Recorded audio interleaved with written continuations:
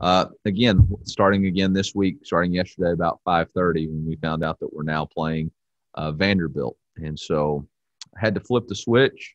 Uh, excited about the opportunity to play. We've had, uh, you know, a couple of games canceled and moved around, so the fact that uh, thank the SEC for finding us an opponent.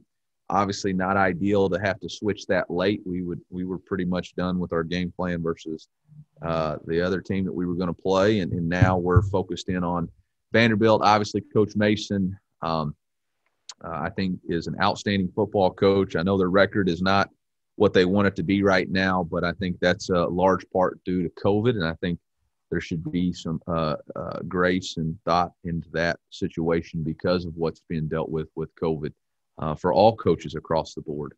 Uh, you know, Coach Pittman, I, I, will give him credit, called me Monday morning and, and, let me know that their numbers were, were really close and, and was just making me, giving me a heads up. Didn't let that affect my day because I knew that we needed to prepare either way.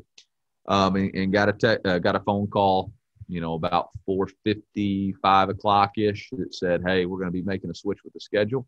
Had an emergency staff meeting and uh, met with the team at 5:30. Told them we're playing Vanderbilt. Stayed up here till about midnight last night. Was back up at five uh, up here at five, ready rolling again. So, uh, as far as carryover, you know, they've played four games since the COVID. And so, you know, you try to go back and watch and see, okay, they played two, or maybe it was three before we played them. I think it was two. And then the other four, and, and then there's not really a ton that carries over. You wish it did, but it doesn't. Hey Eli, um, talking roster numbers, how, how are you guys just doing? Uh, how, how was the Sunday round of testing? How are you guys feeling? Yeah, Sunday we had zero positives. Uh, but as always with testing, there's another round today. Uh, and so we won't know until we get our results Thursday on, on where we're at. Um, you know, there's always a, a, tremendous amount of nerves when you travel.